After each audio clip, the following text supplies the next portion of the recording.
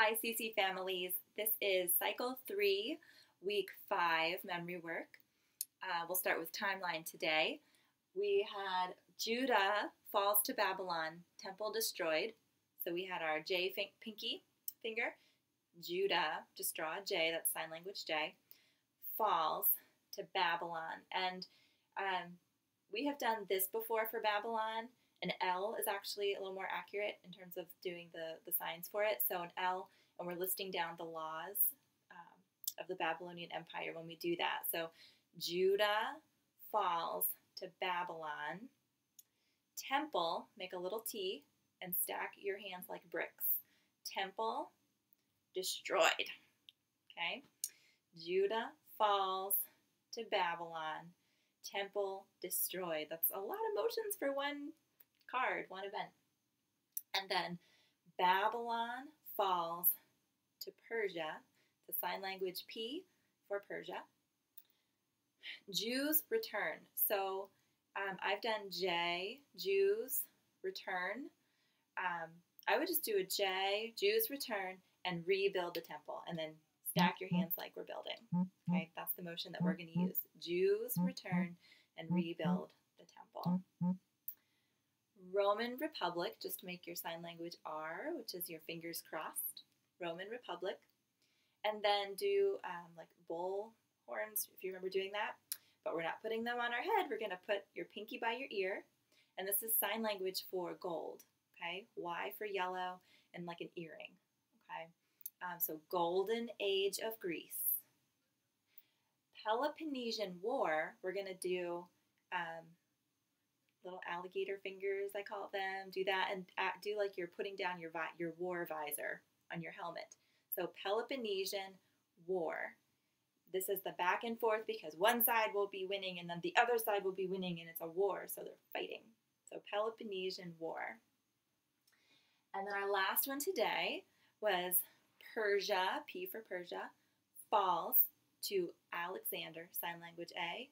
Alexander the Great. Okay, so hands in the air for Alexander. And uh, so all together it goes like this Judah falls to Babylon, temple destroyed. Babylon falls to Persia. Jews return and rebuild the temple. Yay! Roman Republic, Golden Age of Greece, Peloponnesian Wars. Persia falls to Alexander the Great. And there's your timeline. Uh, for math, we did nines and tens today, and these are getting tougher, higher, bigger numbers.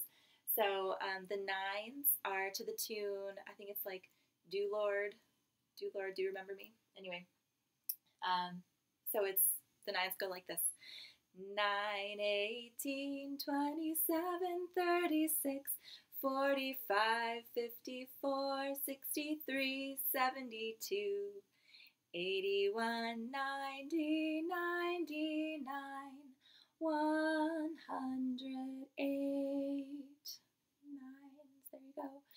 Um, and we just did some different motions like we do. I took ideas today from the kids on um, different actions to do with our nines.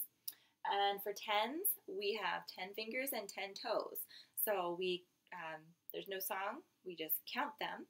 And you can use your 10 fingers or your 10 toes to tap on the floor or tap on the table in front of you. And we'll just say them together. Ready?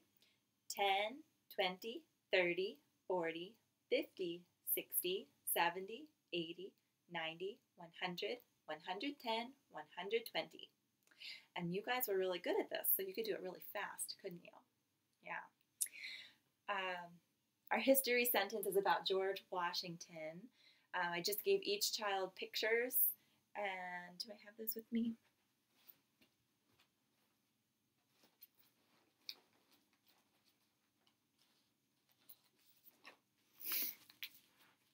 Um, so I gave each child pictures, and they're here. So they would each hold up their sign uh, when we got to that part of the sentence. So it goes like this In 1789 in New York, George Washington was granted the full powers and responsibilities of the presidency by the U.S. Constitution. Okay, we had fun going around in the circle and having everybody um, hold up their picture for the history sentence. For our Latin this week, we had another group of verbs. We sang a song to the tune of Alouette and used some hand motions um, to help us remember these verbs. So it goes like this. Factum me missus and comprehenderunt comprehended. Lucet shineth, fuit there was, Latin verbs were at the end. And we practice doing a cutoff, which is going to be really helpful when we learn music with our tin whistle the next six weeks. So learning the cutoff and we stop singing. Very important skill. Um, science was fun. Um, we're learning about the five main senses. So we sang, What are the five main senses? The five main senses are sight, hearing, taste, smell, touch. Sight, hearing, taste, smell, touch. Sight, hearing, taste, smell, touch. Sight, hearing, taste, smell, touch. Sight, hearing, taste, smell, touch. Sight, hearing, taste, smell, touch. And it's kind of like a tongue twister to say those all in a row. See if you can sing it faster and faster this week. For English, we learned our first verb um, to go through all those principal parts that we learned the infinitive and present, participle, past participle. So um, we use the same motions that we've been with infinitive, present, past, present participle, past participle. Okay? So our verb was to be. Let's sing it together. To be, am, are, is, was, were, being, been. To be, am, are, is, was, were, being, been. Okay. And geography. Here's our map for today.